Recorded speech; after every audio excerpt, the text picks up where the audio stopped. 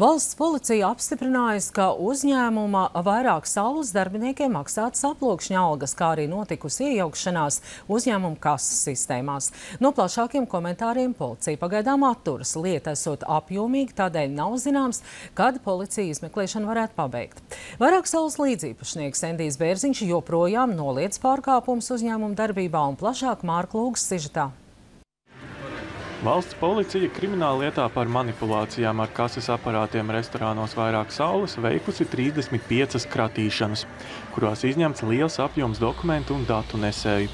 Pusotru mēnesi pēc kratīšanām policija šodien paziņoja, ka guvusi apstiprinājumu vairākiem pārkāpumiem restorānu darbā.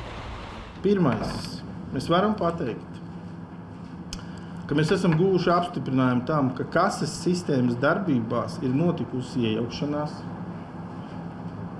Otrais, ka ir veikta kases sistēmā reģistrēto datu izmainīšana un dzēšana.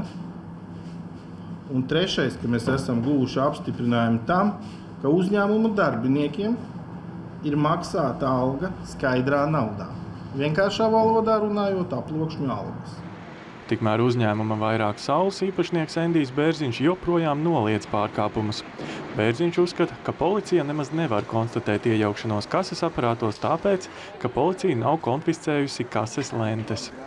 Par aplokšņu algām mēs nemaksājam, un otra lieta, ko mēs varam pilnīgi un noteikti pateikt, ka nav taisīta nekāda ekspertīze. Tātad tas ir pilnīgākais nu, melīgs paziņojums, jo viņi nav konfiscējuši kases lentes.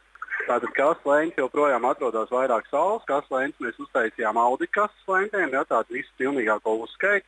Divu mēnešu laikā policija nav pat paprasījis mums šos pierādījumu datus. Policijai ir aizdomas, ka iejaukšanās restorānu vairāk saules kases aparātos valstī nodarījusi zaudējums pusotra miljona eiro apmērā.